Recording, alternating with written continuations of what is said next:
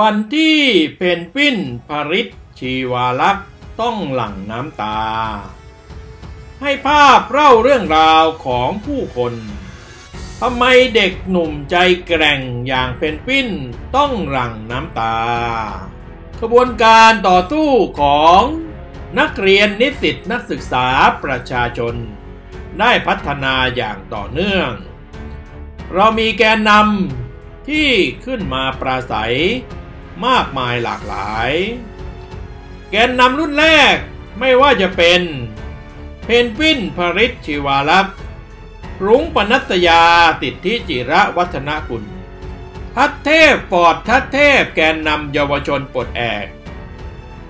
คนหนุ่มคนสาวเหล่านี้ล้วนเป็นคนที่ควรจะมีอนาคตที่สดใส มีหลายเรื่องราวที่บางคนอาจจะไม่รู้ ว่าแกนนำของขบวนการต่อสู้เพื่อประชาธิปไตย ปี 2563 เด็กหนุ่มเด็กสาวเหล่านี้ล้วนเป็นคนที่มีอนาคต มีการศึกษาอยู่ในระดับดีถึงดีมากของประเทศทีเดียว รุ้งปนัสยาพี่สาวเล่าว่ารุ้งเรียนเก่งตั้งแต่เด็ก สอบที่หนึ่งได้บ่อยครั้ง มีความสามารถพิเศษหลากหลาย ในช่วงม .4 ม .5 ลุงสอบชิงทุนไปต่างประเทศ ได้สองสามที่ จึงได้ไปเรียนต่อที่สหรัฐอเมริกา มีภาพที่หลายคนประทับใจเมื่อนักเรียนชั้นประถมปีที่ 6 น้องป .6 เดินทางมาขอกอดลุงบอกว่าไม่อยากให้ใครทำร้ายพี่ลุงอีกปอดทัศเทพ เรืองประภัยกิจเสรี จบจากจุฬาลงกรณ์มหาวิทยาลัยได้เกียรตินิยมอันดับหนึ่งคณะรัฐศาสตร์ ทางด้านพริชชีวาลักษ์เคยได้รางวัลเพชรยอดมงกุฎของประเทศไทย สาขาประวัติศาสตร์ นอกจากนั้น สอบระดับประเทศได้ได้รางวัลต่างๆมากมาย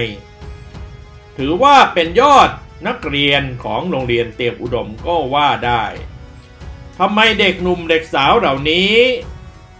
ต้องมาเผชิญชะตากรรม ต่อสู้เรียกร้องให้มีอนาคตที่ดีในประเทศแบบนี้ ทั้งที่เขาเหล่านี้สามารถมีชีวิตที่ดีได้เมื่อเทียบกับคนอื่นๆในประเทศ แต่ทั้งหมดนี้ต้องบอกว่า เพราะพวกเขาเหล่านี้แรงเห็นอนาคตที่มืดมนของเพื่อนร่วมชาติจำนวนมากมายทำให้พวกเขาต้องก้าวมาเป็นแถวหน้า วันนี้เราจะพูดเรื่องราวของพาริชชิวารักษ์วันที่เพนกวินต้องหลั่งน้ำตา เพนกวินพาริชชิวารักษ์ได้พูดถึงเรื่องราวของเขาและแกนนำโดยโพสต์ เรื่องราวที่เกิดขึ้น เพนกวินโพสต์เมื่อวันที่ 3 ธันวาคมบอกว่า มีข่าวจากแวดวงคนมีสีมาอีกแล้วหนึ่งในวันสองวันนี้ อาจมีการจับกลุ่มแกนนำและฝากขัง 2. เมื่อมีการจับแกนนำเข้าคุกสำเร็จอาจมีการสังหารแกนนำในคุก ซึ่งทางวังถือเลิกวันที่6ธันวาคมเป็นเลิกฆ่า ขึ้นชื่อว่าข่าววงในต้องฟังหูไว้หู ผมไม่หวั่นไหวต่อข่าวจำพวกนี้ แต่ต้องเอามาบอกเล่าเป็นข้อมูลให้ทุกท่านได้รับทราบร่วมกัน ถ้าเกิดอะไรขึ้นกับพวกเราขอให้ชี้นิ้วไปที่ พลเอกจักรภพภูเดชและเจ้าของของมันว่าเป็นต้นเหตุแห่งความชิบหายทั้งปวงของประเทศนี้ เป็นเกียรติที่ได้ร่วมสู้กับทุกคน แต่ถ้าจะช่วยกันได้ช่วยกันแชร์ข่าวนี้ออกไปดักทางมัน ศักดินาจงพินาศประชาราชจงเจริญ เมื่อ 18 ชั่วโมงที่แล้วเป็นพินได้โพสต์อีกโพสต์หนึ่งว่า วันพรุ่งนี้วงเล็บ 7 ธันวาคม เวลา 9 นาฬิกาผมรุ้งและนัด มีนัดหมายให้ไปรายงานตัวต่อศาลธัญบุรี ในคดีจากการชุมนุมวันที่ 19-20 กันยายน ใครสะดวกไปให้กำลังใจกันนะครับ และเมื่อ 5 ชั่วโมงที่แล้ว ความคืบหน้าของคดีที่ศาลธัญบุรี เพนพินได้โพสต์ว่า วันนี้มีทั้งข่าวดีและไม่สู้ดีเท่าไหร่ ข่าวดีคือที่ศาลจังหวัดธัญบุรีวันนี้ อายการไม่มายื่นฟ้องผมให้ทันภายในกำหนดระยะเวลา จึงเป็นผลให้ผมไม่ต้องไปรายงานตัวต่อศาลและไม่ต้องกังวลเรื่องที่ถูกขังจากคดี เวทีลานพญานาควันที่ 10 สิงหาอีก ข่าวไม่สู้ดีคือวันพรุ่งนี้ 8 ธันวาคม 10 นาฬิกา ผมลุงพี่ไม้และพี่ไบเมืองนนท์ต้องไปรับทราบข้อกล่าวหาคดี 112 ที่สถานีตำรวจภูธรเมืองนนทบุรี ซึ่งตำรวจได้โทรมาแจ้งกับทนายผมล่วงหน้าว่า จะนำตัวพวกผมไปให้ศาลฝากขัง ซึ่งอาจทำให้พวกเราต้องเสียอิสรภาพอยู่ในเรือนจำท่ามกลางข่าวหรือว่าจะมีการใช้กำลังกับเราวงเล็บฆ่า จึงขอแรงทุกคนให้มาเป็นสักขีพยานความอายุติธรรมที่อาจเกิดขึ้นในวันพรุ่งนี้วงเล็บ 8 ธันวาคม ที่สถานีตำรวจภูธรเมืองนนทบุรีเวลา 10 นาฬิกาเป็นต้นไป เพราะผมเชื่อว่า ตำรวจยังมีสามัญสำนึกที่จะไม่ทำเรื่องชั่วช้าต่อหน้าประชาชน ด้วยรักและศรัทธาในสถาบันประชาชน ในเรื่องที่ตรงกับหัวเรื่องว่าทำไมเด็กหนุ่มใจแกร่งอย่างเป็นปิ้นต้องหลั่งน้ำตา เป็นเรื่องราวที่เพื่อนของเป็นปิ้นคนหนึ่งได้โพสต์เรื่องนี้ เมื่อสองชั่วโมงที่ผ่านมา โดยโพสต์ว่า เที่ยงวันนี้ในห้างชานเมือง คุณน้าผู้หญิงสามท่านได้เดินผ่านมาพบเพนกวินพริชิวาลักษ์และคุณแม่ ซึ่งกำลังนั่งทานข้าววงเล็บ อาจเป็นการเลี้ยงส่งก่อนพริชชิวาลักษ์จะถูกส่งเข้าเรือนจำจึงได้ตรงเข้ามาทักทาย เมื่อทราบแน่ชัดว่าเป็นเพนกวิน ก็ได้เข้าไปสวมกอดจับไม้จับมือเพนกวินและคุณแม่ พร้อมกับกล่าวให้กำลังใจไปพลางร้องให้ไปพลางทั้งสามท่าน พอคุณน้าเดินจากไป ผมจึงได้เห็นว่าเป็นปิ้นน้ำตาไหล สักพักคุณน้าได้เดินกลับมา พร้อมยื่นใบเสร็จของร้านอาหาร ที่เรานั่งอยู่ให้เป็นปิ้น โดยบอกว่าขออนุญาตเลี้ยงอาหารนะคะ คนที่ต่อสู้เพื่อคนส่วนใหญ่ โดยไม่คำนึงถึงตัวเอง อนาคตของตัวเอง เขาคือผู้เสียสละ เขาคือวีรชน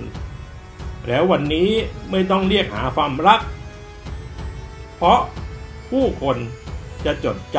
ำและส่งมอบความรักให้พวกเขา ไม่ว่าเขาจะอยู่ที่ใด ผู้คนล้วนมีความรักไปถึงพวกเขา อย่างไรก็ตามวันนี้ประวัติศาสตร์ของประเทศไทยในหน้านี้ ได้จดจำชื่อของพวกเขาไว้แล้วปาริสชิวารักษ์เพนกวินคุณคือคนหนึ่งที่ทำให้ประวัติศาสตร์ของประเทศนี้เปลี่ยนแปลงไป ในโพสต์ดังกล่าวมีคนมาแสดงความคิดเห็นกันมากมายอาทิเช่น มีผู้ใหญ่อีกมากมายที่เข้าใจประทับใจชื่นชมในความกล้าหาญของเพนกวินเมืองไทยไม่ใช่มีแต่ผู้ใหญ่ใจร้ายบ้าคลั่งงมงายอย่างเดียวท่านต่อไปครับ รักคุณน้าทั้งสามท่านจังขอบคุณมาก ๆ ค่ะ อีกท่านหนึ่งบอกว่า รักเพนกวินท่านต่อไปครับ น้ำตาไหลเลยค่ะ ชื่นชมน้องเหลือเกิน รักรักรักท่านต่อไปบอกว่า รักษาเนื้อรักษาตัวนะเป็นปิ้น เป็นปิ้นคงทำดีที่สุดอย่างที่เขาทำได้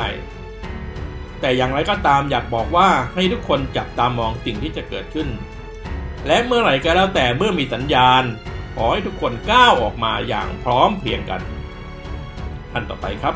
ความรักที่แท้จริงคือความรักจากใจไม่ต้องบังคับ อีกท่านครับ ใช่มีแต่เป็นวินที่น้ำตาไหล ผมนี่ก็คนหนึ่งด้วย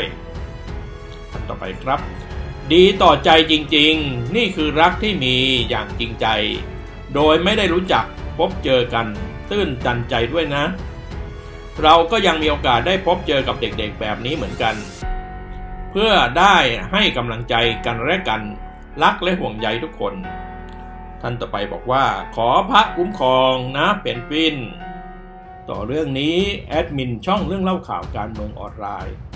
ต้องขออภัยอย่างตุกตึงที่คนรุ่นแอดมินซึ่งตัวเลขขึ้นเลข 5 ไปแล้ว ไม่ได้ต่อสู้อย่างสุดกำลังเต็มความสามารถ อย่างเพียงพอที่จะทำให้สังคมมันดีขึ้น จนทำให้คนรุ่นลูกรุ่นหลานอย่างเป็นปิ้น ซึ่งถือว่าเป็นรุ่นลูกก็ว่าได้ ต้องออกมาเสี่ยงอนาคตเสี่ยงชีวิตของตนเอง ต่อสู้เพื่อคนไทยในอนาคตวันนี้ ขอกราบสดุดดีไว้ด้วยหัวใจณที่นี้ศักดินาจงพินาศประชาราชจงเจริญ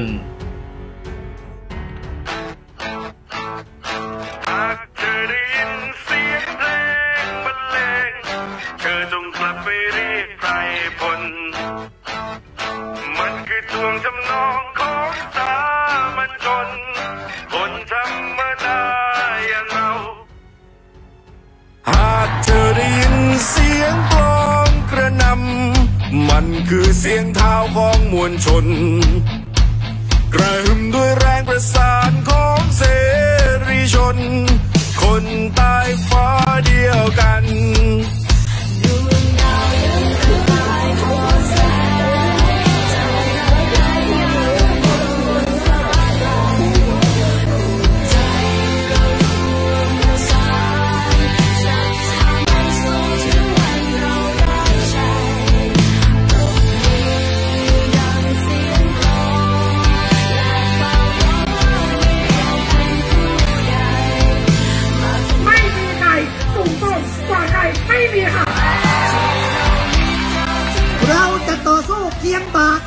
คียงไหลกันจนถึงเส้นชัย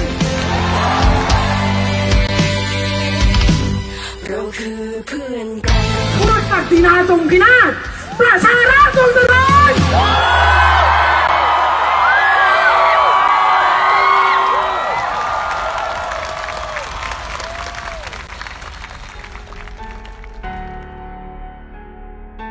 และทั้งหมดนี้คือเรื่องราวของ ทำไมเด็กหนุ่มใจแกร่งอย่างเพนกวินปริศชีวารักษ์ต้องหลั่งน้ำตา ให้ภาพเล่าเรื่องราวของผู้คน เมื่อเด็กหนุ่มเด็กสาวที่มีอนาคต มีการศึกษาดี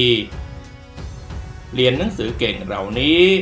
ไม่ว่าจะเป็นปอดทัดเทพ แกนนำเยาวชนปลดแอกรุ้งปนัสยาติทธิจิระวัฒนกุลหัวหน้าพักโดมปฏิวัติ แห่งมหาวิทยาลัยธรรมศาสตร์ หรือเพนกวินพริชชีวารักษ์นักศึกษาแห่งมหาลัยธรรมศาสตร์ ผู้มีรางวัลเพชรยอดมงกุฎและรางวัลต่างๆอีกมากมาย ต้องมาเสี่ยงอนาคตเสี่ยงชีวิต ที่ตัวเองน่าจะมีอนาคตที่ดีได้กับเรื่องราวเหล่านี้ เพราะทั้งหมดนี้คือเรื่องราวที่ประชาชนจะต้องร่วมกันต่อสู้ เพื่ออนาคตเพื่อประชาธิปไตย และเพื่อเยาวชนของชาติในอนาคตหลายสิบล้านคน ต่อเรื่องราวดังกล่าวเพื่อนๆมีความคิดเห็นอย่างไรเชิญแสดงความคิดเห็นด้านล่าง แล้วอย่าลืมกดไลค์กดแชร์ กดติดตามและกดกระดิ่งchannel เรื่องเล่าข่าวการเมืองออนไลน์ สะท้อนความคิดเห็นชาวเน็ตไทยสู่คนไทยทั่วโลก ภารกิจในการกดไลค์กดแชร์ข้อมูลข่าวสารของฝ่ายประชาธิปไตย ในห้วงเวลาแห่งการสถาปนาประชาธิปไตยที่แท้จริงของประชาชนนี้ ถือเป็นภารกิจสำคัญยิ่งในประวัติศาสตร์การเมืองสมัยใหม่ และอันหนึ่งสำหรับเพื่อนๆที่ต้องการสนับสนุนให้ช่องข่าวเล็กๆ แห่งนี้ ยังคงฮือฮาและเกี่ยวกราวในโลกออนไลน์ได้ต่อไปนานๆสามารถสนับสนุนได้ด้วยการกดสมัครหรือกดจอย เริ่มต้นที่เดือนละ 35 บาท ขอบคุณมากครับ สวัสดีครับ